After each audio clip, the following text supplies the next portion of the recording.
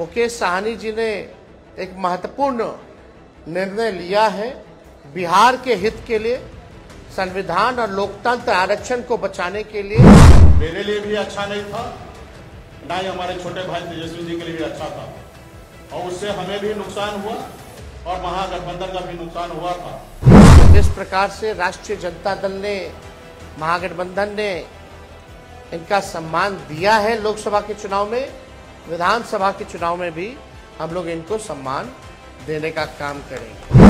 साथी को धन्यवाद देता हूँ कि इस गठबंधन में हम लोग आए और आगे सामाजिक न्याय के लिए लड़ाई हम लोग लड़ते रहेंगे। अल्टीमेटली तो जनता न मालिक है। भारतीय जनता पार्टी के वरिष्ठ नेतृत्व में कई बार उन्होंने वादा किया कि हमारी सरकार बनेगी हमारे साथ दीजिए हम आपको आरक्षण देंगे। करके मोदी जी ने हर साल में दो करोड़ लोगों को रोज़गार देने का जो निर्णय लिया था हमारे लोग इलाज के अभाव में बच्चे को दम तोड़ते हुए देख लेता है और उसके बच्चे के लिए कुछ नहीं किया साथ बैठे हैं और उनके सामने एक भाजपा का वरिष्ठ नेता कहता है कि हमको प्रचंड बहुमत चाहिए 400 पार कराइए और हम लोग संविधान को खत्म कर देंगे। महागठबंधन में मुकेश सहरी जी का हम स्वागत करते हैं। इन्होंने काफ़ी परिश्रम किया, काफ़ी मेहनत की। अति पिछड़ा समाज को जोड़ने में, उनकी समस्याओं को उठाया, उनके अधिकार के लिए इन्होंने संघर्ष किया। और जिस प्रकार से भाजपा के लोगों ने इनके दल को प्रयास करने का, तोड़ने का प्रयास किया वो हम सब लोगों ने देखा है। तो आज देश में चुनाव हर जगह है, लेकिन हम गारंटी के साथ कह सकते हैं कि जो लोग कल्पना कर रहे हैं और जो लोग नारा लगा रहे हैं 400 पार का, इस बार बिहार की धरती उनको धूल छटाने का काम और हमने कई बार कहा है कि बिहार जो है वो चौंकाने वाला रिज़ल्ट देगा। हम सब लोग नौजवान हैं, बिहार के लिए नया सोचते हैं प्रोग्रेसिव लोग हैं पॉजिटिव लोग हैं। हम लोगों के पास विजन है, हम लोगों के पास रोड मैप है। कि किस तरीके से बिहार को हम लोग आगे ले जाने का काम करेंगे हम सब लोग देश के हालात को भी देख रहे हैं, जहाँ तानाशाह रवैया अपनाया जा रहा है, जहाँ संविधान पर खतरा है। और ताजुब है, कई लोग जब हम लोग बोलते थे भाषण में कि भाजपा के लोग जो है संविधान को खत्म करना चाहते हैं लोकतंत्र को खत्म करना चाहते हैं, इस देश की जो डाइवर्सिटी है, उसको खत्म करना चाहते हैं, भाईचारे को खत्म करना चाहते हैं, शांति, अमन, चैन को भंग करना चाहते हैं तो कुछ लोग सवाल पूछते थे, कहाँ से कह रहे हैं कि भाजपा के लोग संविधान खत्म कर आज आप लोगों ने देखा होगा हमने ट्वीट करके एक वीडियो रिलीज़ किया है, जब बैठक चल रही है, गया में भाजपा का इंटरनल बैठक है, चुनाव की तैयारी की बैठक चल रही है। वरिष्ठ नेता भाजपा के, वरिष्ठ मंत्री बिहार सरकार के, प्रेम कुमार जी। साथ बैठे हैं और उनके सामने एक भाजपा का वरिष्ठ नेता कहता है कि हमको प्रचंड बहुमत चाहिए 400 पार कराइए और हम लोग संविधान को खत्म कर देंगे। हम लोग ये बताना चाहते हैं कि किसी माई के लाल में दम नहीं जो हमारे देश का संविधान को बदल सके, लोकतंत्र को छीन सके। और जो असली चेहरा जो बीजेपी का है, वो सबके सामने वो उजागर हो चुका है। जो असली चेहरा जो है, बंद है, वो उजागर हो चुका है भाजपा का। यानी जो बात हम लोग कहते थे कि संविधान और लोकतंत्र पे खतरा है, आज भाजपा के लोग ही जो है, भाषण कर रहे हैं, खुल करके बोल रहे हैं कि संविधान को खत्म करना है। ये बाबा साहब अंबेडकर का लिखा संविधान जो देश को जोड़ने का काम करता है, जहाँ सामाजिक न्याय के साथ साथ सबका सम्मान है, सबका अधिकार दिया गया है। और जब संविधान खत्म हो जाएगा तो लोकतंत्र खत्म होगा तो लोकतंत्र खत्म होगा तो वोटिंग खत्म हो जाएगी। जो आप वोट करना चाहते हैं, आप आज चुनते हैं सरकार को, इनका असली एजेंडा है कि उस हिसाब से खत्म हो जाए और एक तानाशाही पूरे देश में जो है वो लागू हो जाए। और कोई पहली बार भाजपा के नेता ने नहीं बोला। दक्षिण भारत में भी भाजपा के लोगों ने बोला, राजस्थान में भी भाजपा के नेता ने बोला, और लगातार ये बिहार में हो रहा है। जब लोग जागरूक हो गए, जब अधिकार के लिए लड़ने लगे, जब दलितों की पार्टियाँ बनने लगी, जब अति पिछड़ों का पार्टियाँ बनने लगा, पिछड़ों की पार्टियाँ बनने लग गई तो बीजेपी को डर हो गया। उसलिए चाहते हैं कि संविधान को खत्म कर दिया जाए। तो आज बेहद खुशी है कि मुकेश साहनी जी ने आज महागठबंधन जो है, उसमें शामिल हुए हैं और हम सब लोग, पूरा राष्ट्रीय जनता दल परिवार, सभी हमारे महागठबंधन के सभी साथी, इनका हम लोग स्वागत करते हैं। और आप लोग सब लोग जान रहे हैं कि आज शामिल हो रहे हैं ये, लेकिन इससे पहले महागठबंधन में हम लोगों ने सीटों का ऐलान कर दिया है। सीटें बता दी गई हैं। कौन सा सीट कांग्रेस के खाते में गया और कौन सी सीटें जो है, लेफ़्ट पार्टियों के खाते में गई।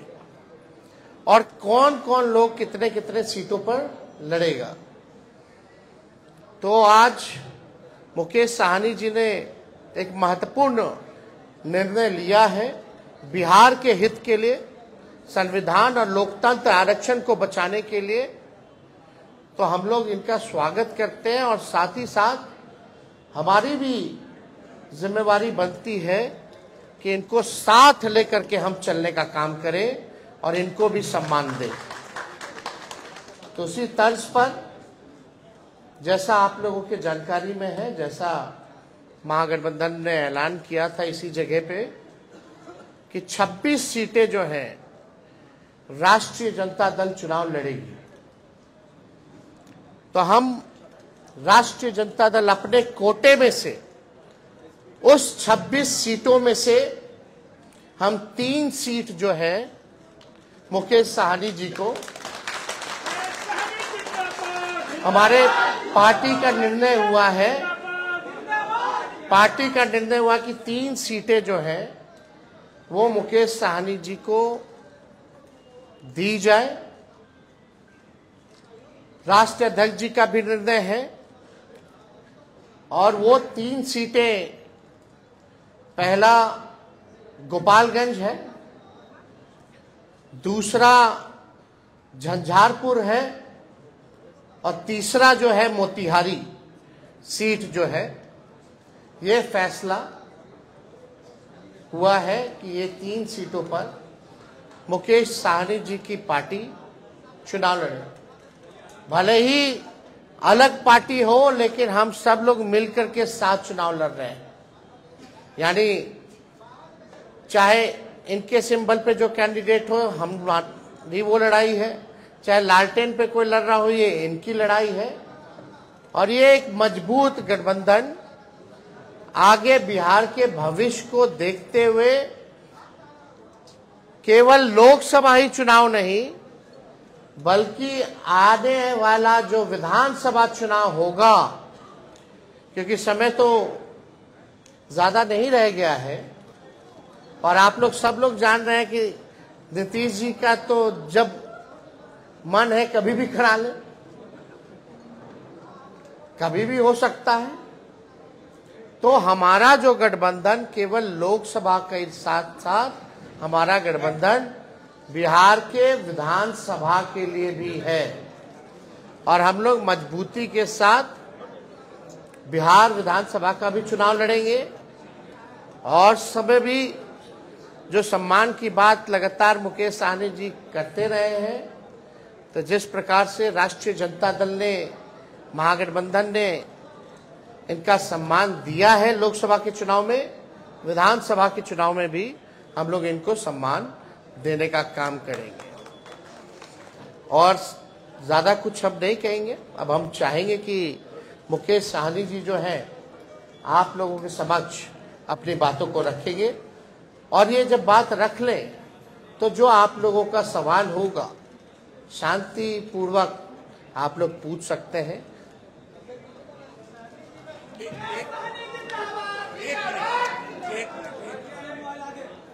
बहुत बहुत धन्यवाद।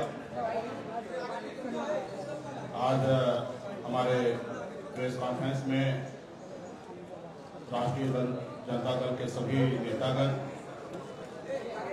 हमारे वीआईपी पार्टी के सभी वरिष्ठ नेतागण नेता प्रतिपक्ष हमारे श्री तेजस्वी प्रसाद यादव जी और तमाम हमारे मीडिया के बंधु। आप सभी को बहुत बहुत धन्यवाद। आज हम लोग महागठबंधन इंडिया गठबंधन के पार्ट हम लोग बने हैं और निर्णय यही है कि आगे लड़ाई लड़ना है। हम लोग हमेशा लालू प्रसाद यादव जी जी के विचारधारा को मानने वाले लोग हैं। गरीब पिछड़े समाज में जन्म लिए हैं। संघर्ष के बदौलत आज हम लोगों ने अपने मुकाम को हासिल किया है। और जब मैं मुड़ के देखता हूँ तो हज़ारों समस्या हमारे परिवार में, हमारे लोगों के बीच में है। उस समस्या को दूर करने के लिए बॉम्बे के ऐशो राम ज़िंदगी को छोड़कर मैं बिहार आया, अपने लोगों के लिए लड़ाई लड़ने लगा, आंदोलन किया। आंदोलन से हमने एक पॉलिटिकल पार्टी बनाया और आपने देखा कि किस तरीके से हमने संघर्ष करने वाले लोग हम अपने सर उठा के जीने का हमने निर्णय लिया था। और आपने देखा कि भाजपा ने किस तरीके से हमारे विधायक को खरीद लिया, हमारी पार्टी को तोड़ दिया, हमारे सहयोग से बिहार में सरकार बनाई, उस सरकार से हमें बाहर कर दिया। और अब पिछले दो सालों से संघर्ष में कर रहा हूँ। गाँव गाँव में घूमकर अपने लोगों को जागरूक कर रहा हूँ कि अपने अधिकार के लिए लड़ाई लड़िए हमारी लड़ाई है कि जब देश एक है, संविधान एक है, देश के प्रधानमंत्री एक है तो हमारे साथ अन्याय क्यों? जब बंगाल में निषाद समाज के सभी उपजाति, चाहे बिंद हो, बेलदार हो, नुनिया हो, मलाह हो चाहे हो, तियर हो, बनपर हो, गोरी हो, तमाम निषाद के सभी उपजाति को आरक्षण एससी का मिल रहा है। आप दिल्ली चले जाइए।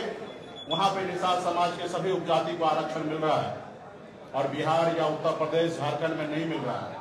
कई बार भारतीय जनता पार्टी के शीर्ष नेतृत्व ने कई बार उन्होंने वादा किया कि हमारी सरकार बनेगी, हमारे साथ दीजिए, हम आपको आरक्षण देंगे। और कई बार हम लोगों ने उनको मदद किया। लेकिन जब उनकी मजबूरी होता है तो हर तरह की बातें करते हैं। और जब उनकी समस्या दूर हो जाता है तो भूल जाते हैं कि मल्ला का बेटा का भी कोई समस्या है, उसको दूर करेंगे। इसलिए हम लोग लड़ाई लड़ रहे हैं। पूरे यूपी बिहार, झारखंड में अपने लोगों को जागरूक किए हर लोगों ने हाथ में गंगा जल लेकर संकल्प लिया कि हम अपने आने वाला पीढ़ी के लिए, अपने बच्चे के भविष्य के लिए संघर्ष करेंगे। जैसे हमारे पूर्वज ने कभी इस देश को आज़ादी दिलाने के लिए संघर्ष किया, उसी तरीके से संघर्ष करेंगे। और आज हम भी उसी रास्ते पे चल रहे हैं। हमने बिहार में तमाम हमारे कर्पूरी ठाकुर जी हो, हमारे लालू प्रसाद यादव जी हो, स्वर्गीय श्री पासवान जी हो, हमने सबको देखा। अपने लोगों के लिए, अपने हक अधिकार के लिए उन्होंने संघर्ष किया।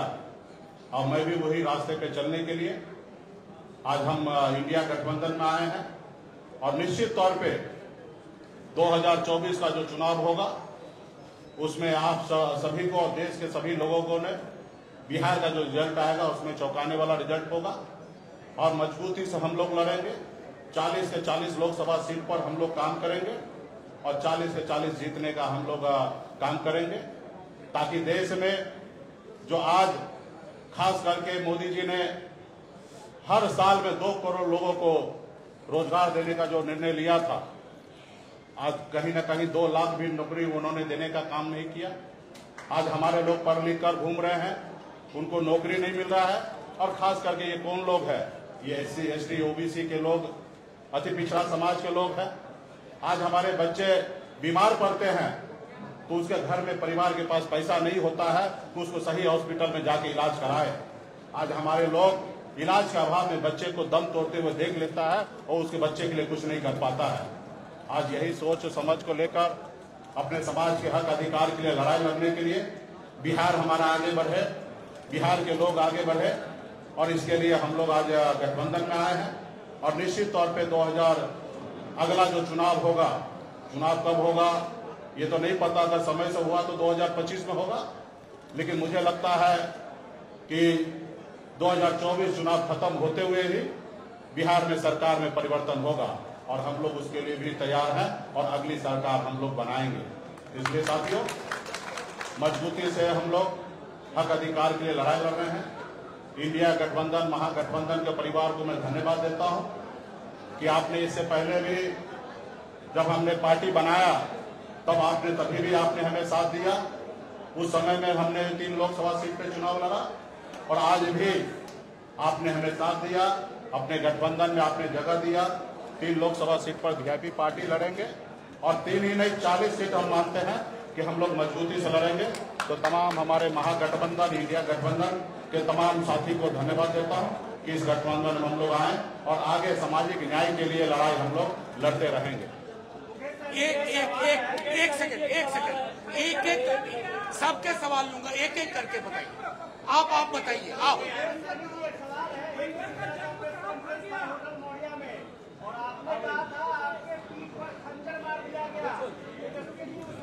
हमें पूरा उम्मीद था कि ये सवाल ज़रूर आप करेंगे। देखिए, दो भाई में आपस में नोक झोंक होता है और हम लोगों को उस समय में जो हुआ, वो मेरे लिए भी अच्छा नहीं था, ना ही हमारे छोटे भाई तेजस्वी जी के लिए भी अच्छा था। और उससे हमें भी नुकसान हुआ और महागठबंधन का भी नुकसान हुआ था। खैर, वो बात हो चुका है, बीत गया है। उस समय में तो सिर्फ़ हमारा नंबर नहीं घोषणा हुआ। इसके लिए हमने थोड़ा सा कह सकते कि क्रोध प्रकट हमने कर दिया था। लेकिन आप कल्पना कीजिए, जिन्होंने हमारे सीने में खंजर भोका, जिन्होंने हमारे विधायक को ले लिया, हमें सरकार से बाहर कर दिया, जो सरकार हमने बनाया था, वो अब ज़रूर ज़रूरी है कि उसको जवाब देने का, उनसे बदला लेने का। और आने वाला समय में जब दो भाई है घर है परिवार है तो छोटा मोटा नोक झोंक हुआ उसको हम लोग अभी आने वाले समय में उसको दूर करेंगे। ऐसे कोई सवाल नहीं होगा ना। भूपेंद्र जी। भूपेंद्र जी। एक है। भूपेंद्र जी। अब नहीं होगा तेजस्वी यादव से। अब एक साथ आप रहेंगे। निश्चित तौर पे एक साथ रहेंगे। हम वो नीतीश जी के जैसे नहीं कहेंगे कि मिट्टी में मिल जाएँगे और फिर कहीं नहीं जाएँगे। हम साथ हैं, हमेशा साथ रहेंगे और आगे वो समय आएगा, आप लोगों को जानकारी दे दिया जाएगा, पार्टी फोरम पे इस पर चर्चा होगा, कौन सा सीट पर किसको लड़ाना है, कौन पार्टी के पदाधिकारी लड़ेंगे, और हम लोग पिछड़ा समाज के लोग हैं। निश्चित तौर पे हम लोग चुनाव मैदान में हम 40 से 40 सीट जीतने के लिए आए हैं, और मजबूती से हम लोग लड़ाई लड़ेंगे। अति पिछड़ों को सम्मानजनक सीट देंगे। लाई लाई लाई लाई आराम से। निश्चित तौर पे हम वही काम पे रहे हैं। हमने पिछले बार भी आपने देखा होगा। हमने कहा एक सीट लेकर जहर खा लेंगे, लेकिन उस गठबंधन में नहीं जाएँगे। हमने निर्णय लिया था। आरक्षण नहीं तो गठबंधन नहीं गठबंधन नहीं तो वोट नहीं। और वही निर्णय पर, क्योंकि आरक्षण तो केंद्र के सरकार को ही देना था। दस साल से वही सरकार में है। और निश्चित तौर पे हम अपने वादे पे कायम है और हमारा समाज भी जो हाथ में गंदा जल लेके कसम खाए हैं कि आरक्षण नहीं तो गठबंधन नहीं, उसी पे हम लोग अड़िग रहेंगे और निश्चित तौर पे भाजपा को बिहार से 40 का 40 सीट हम लोग हराने का काम और निश्चित तौर पे जो हमारा आरक्षण की लड़ाई है, निश्चित तौर पे हम राहुल गांधी जी को नेतृत्व में देश में सरकार बनाएँगे, हम अपनी सरकार बनाएँगे और निश्चित तौर पर उसमें जब हमारी सरकार होगा तो निश्चित तौर पर निषाद समाज का आरक्षण लागू होगा। एक मिनट एक मिनट एक मिनट एक इधर। ये सारे सवाल एक तरफ़ सुनिए ना इधर भी इधर लेने दीजिए हाँ। इधर इधर। तो लेफ़्ट है side Tejashwi ji left side Modi ji कल जमुई में आए हुए थे। उन्होंने कहा कि अब लेटेन का जमाना नहीं है एलईडी का जमाना आ गया है। एक बात उनको भी समझना चाहिए। लालटेन का काम क्या है? अंधेरे में उजाला करना? है ना? और कई पार्टी के अलग अलग सिंबल हैं। तीर भी है। तो तीर क्यों रखे हो भाई? मिसाइल कर लो। अब फूल तो फूले बना रहे हैं लोगों को। जो फूल है वो तो सबको फूल बना रहा है देश की जनता को। तो उसका क्या उपयोग है? तो एलईडी का जमाना है, इसका जमाना है, लेकिन जरा मोदी जी अपने बगल में अपने साथी माननीय मुख्यमंत्री जी से पूछ लेते हैं कि दुनिया खत्म हो जाएगी काहेला बोलते हैं? वो किस बात पे बोलते हैं? क्योंकि जमाना हाईटेक हो गया है, उसी बात पे ना मुख्यमंत्री जी कहते हैं, फ़ोन ओन मत चालू करो, फ़ोन पे रहता है सब लोग। अब थोड़ा दिन में दुनिया खत्म हो जाएगा। तो सबसे पहले जो उनके साथी हैं, उनको ना समझाना चाहिए उनको। तो ये सब बेकार की बातें, असल बात क्या थी? कल जमुई में प्रधानमंत्री जी ने शुरुआत की। कल हमने ट्वीट किया परिवारवाद को लेकर के। लेकिन कल प्रधानमंत्री जी ने एक शब्द भी परिवारवाद के खिलाफ नहीं बोला। और पहला चरण में जहाँ भी चुनाव हो रहा है, एनडीए अलायंस ने सभी परिवार वालों को ही टिकट दिया है। तो प्रधानमंत्री जी कुछ भी कहते हैं, भाजपा का लोग हम बोलते हैं ना कि गोबर दे करके बोलेगा कि लो खाओ, हलवा है। समझे?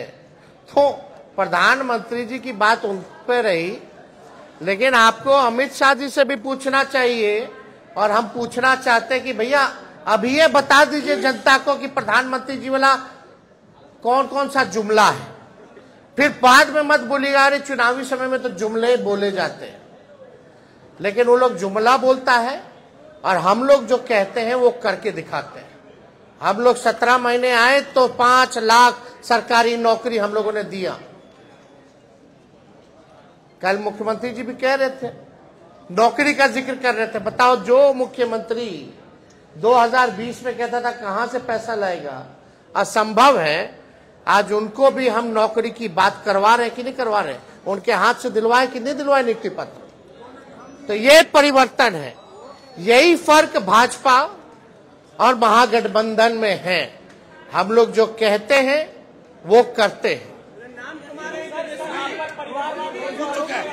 एक मिनट एक मिनट। दो मंत्री समस्तीपुर सीट से जेडीयू के दो मंत्री परिवार के बेटे और बेटी चुनाव लड़ने के लिए वहाँ हैं। छोड़िए ना वो अब उनका अपना निर्णय हम भाई देखिए अल्टीमेटली तो जनता ना मालिक है। किसी को टिकट देना नहीं देना वो अलग बात है। अल्टीमेटली जनता चुनाव जीत के भेजती है।